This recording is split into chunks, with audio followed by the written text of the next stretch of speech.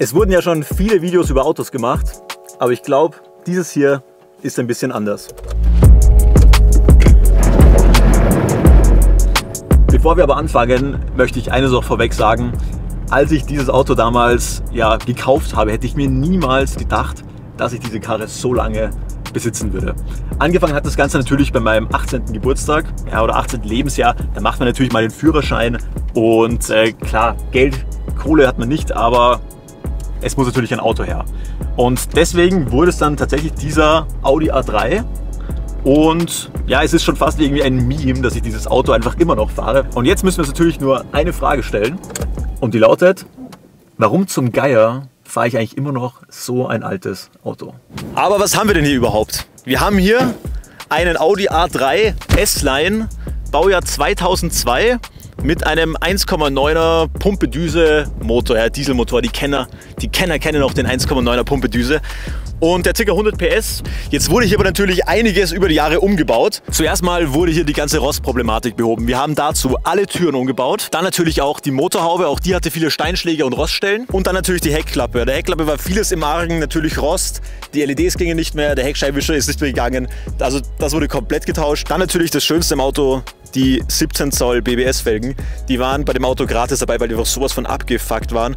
Und ich habe die dann einfach, ja, aus Geldgründen, ich habe die dann einfach nicht sandstrahlen lassen. Ich habe da einfach Sprühlack drauf, ge drauf gehauen und sechs Jahre später hält er immer noch. Und dann, ihr wisst ja, ich bin ein kompletter Pragmat, haben wir hier auch noch eine Anhängerkupplung nachgerüstet. Zuletzt kam dann auch noch dieses ja, sehr schöne Lederlenkrad einfach rein. Und ja, das hat den Innenraum nochmal natürlich deutlich aufgewertet. Das war jetzt aber eben so, dass wir diese Upgrades einfach über die Zeit gemacht haben. Das war jetzt nichts, was ich so auf einmal machen wollte, sondern es war einfach, wenn zufällig Zeit da war oder man die Teile halt einfach hatte. Das Beste ist ja eigentlich, wenn du mal herschaust, die Airbag-Leuchte blinkt hier immer noch. Und das ist, die Story ist eigentlich total krank, weil du musst dir vorstellen, jetzt haben wir hier ein 22 Jahre altes Auto, okay? Und vor ungefähr zwei Monaten gehe ich so in die Garage und dann denke ich mir so, hey, irgendwas ist komisch am Türschloss es war nicht mehr da. Und dann hat jemand wirklich anscheinend probiert, in mein Auto einzubrechen und das Auto zu stehlen. Okay? Dieses Auto.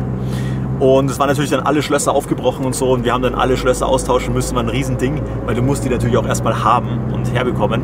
Jedenfalls hat er das nicht geschafft, weil ich kann nämlich bei diesem Auto habe ich die Angewohnheit, immer, wenn ich es abstelle, längere Zeit die Elektrik komplett vom Wagen zu trennen mit einem Schalter. Und wenn du diesen Schalter nicht findest, dann fährst du mit diesem Auto nirgendwo hin, auch wenn du natürlich das Zündschloss knacken kannst. So. Also extrem lustig und ich sag dir auch, ich habe mich natürlich auch geärgert, aber ich kann dir sagen, Bro, wenn du das siehst und du warst es, ich habe dir vergeben mittlerweile, ja. Aber war einfach witzig, dass man dieses Auto noch versucht hat zu stehen. Was einem natürlich klar sein muss, ist, dass bei einem 22 Jahre alten Auto trotzdem, egal wie zuverlässig das Ganze ist, trotzdem ab und zu einfach Reparaturen anstehen. Das ist einfach so. Heute machen wir die Lichtmaschine. Da ist einfach der Freilauf schon ein bisschen ausgeleitet und dann hat man einfach einen zu hohen ja, Riemenverschleiß. Aber das Gute ist, man lernt dadurch natürlich auch am Auto ein bisschen zu schrauben. Und wenn man Teile mal auswechselt, dann überleben die meistens das Auto oder die restliche Lebenszeit des Autos. So, da sitzt der Generator und das Teil muss jetzt einfach raus.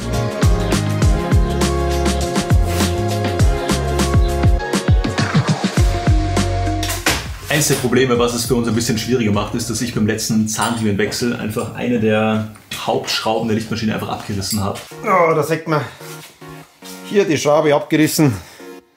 Und durch das, dass wir den, die Spannhülsen zurückpressen haben können, haben wir ein paar Millimeter Freiraum geschafft, dass das genau da von der Halterung da herin rausgekommen.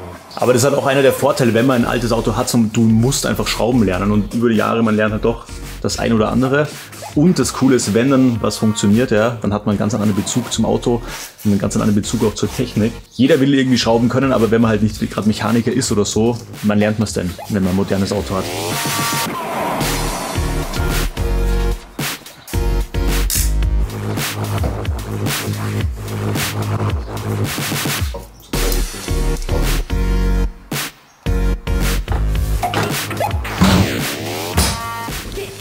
Der nächste Grund, warum ich dieses Auto einfach immer noch fahre, muss man sagen, ist einfach diese krasse Zuverlässigkeit. Wir haben den 1.9er TDI Pumpe Düse Motor und dieser Motor ist einfach bekannt dafür, dass der läuft und läuft und läuft und läuft. Generell das ganze Auto, bis auf die Rostthematik am Anfang, läuft das Teil einfach. Natürlich muss man mal den Zahnriemen wechseln, ja, oder wir haben dann auch mal den Klimakompressor neu gemacht oder solche Geschichten. Aber ansonsten wahnsinnig zuverlässig und das schätze ich einfach an dem Auto.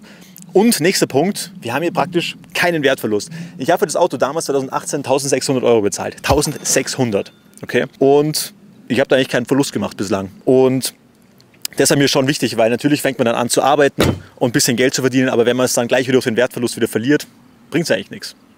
Und deswegen wollte ich mir nie irgendwie ein Auto finanzieren oder wie es halt viele Leute machen. Und kein Wertverlust, das ist einfach Killer. Und der nächste Grund, warum man dieses Auto natürlich besitzt, ist für mich reiner Pragmatismus. Es ist mir bei diesem Auto halt wirklich egal, ob das dreckig ist, wenn ich mal irgendein Baustellenprojekt habe oder so. Und dann ist es halt einfach so. Das Auto ist für nichts zu schade. Der einzige Punkt, wo man sagen muss, ja, das tut mir da selber auch noch immer ein bisschen weh. Und das ist auch ein Grund, warum ich das Auto immer noch habe, ist so das ganze Thema Auto und Ego. Ihr müsst euch ja vorstellen, ähm, oftmals, selbst mir, wo mir das relativ egal ist, was Leute von mir halten und so weiter, trotzdem habe ich da oft die Gedanken, wenn ich irgendwo hinfahre, wo es irgendwie ein bisschen fancier ist oder wo irgendwie ja, andere Leute mit krassen Autos herkommen. Oder selbst wenn ich nur ins Gym fahre, wo ich mir dann denke, ja, kann ich da mit diesem Auto wirklich hinfahren? So, weil es ist ein altes Auto. So, es ist in der, gerade in der Stadt, wo ich wohne, fahren alle Leute sehr krasse Autos. Es ist so eine gute Ego-Therapie für mich, dann trotzdem mit dem Auto zu fahren und trotzdem dahin zu fahren. Und ich habe natürlich auch im Jahr, Laufe der Jahre immer wieder überlegt, okay, soll ich mir ein anderes Auto kaufen, weil die Kohle hatte ich dann. Und dann habe ich mir überlegt, okay, mache ich das jetzt wirklich, weil ich es brauche? Oder ist es echt nur so ein Ego-Ding, um einfach ja, cooler zu sein, cooles Auto zu haben? So. Und ich habe es bislang nicht gemacht und werde es auch jetzt vor, ja, demnächst noch nicht machen. Jetzt kommt ein kleiner Speedtest. Wie schnell geht diese Karre? Wir starten bei 50 km/h und treten jetzt gleich mal durch. Ready?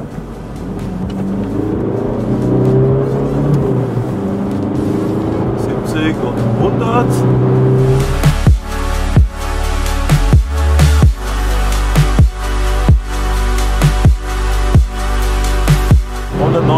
Tacho, aber herrlicher geradeauslauf. Ich könnte wirklich die Hände vom Lenkrad nehmen, also wirklich Wahnsinn. Also 190, nicht ganz 200, Reisegeschwindigkeit ist natürlich weniger. Mein Mindset ist auch einfach so, wenn ich schnell fahren will, dann fahre ich mit dem Motorrad. Du musst, dir, du musst dir vorstellen, Alter, das Bike, das geht ja nochmal einfach 100 km/h schneller. Und dann mache ich die 100 bis 200 in, keine Ahnung, 4 Sekunden. So. Und ja, Leute, das sind so die Gründe, warum ich dieses Auto immer noch fahre. Natürlich, klar, also leistungsstarke oder teure moderne Autos sind natürlich cooler, das ist gar keine Frage. Aber es ist halt eine Abwägungssache. Was sind meine Prioritäten? Was will ich? Was brauche ich? Und irgendwann wird dieses Auto auch Geschichte sein. Aber bis dahin werde ich noch jeden Kilometer damit genießen.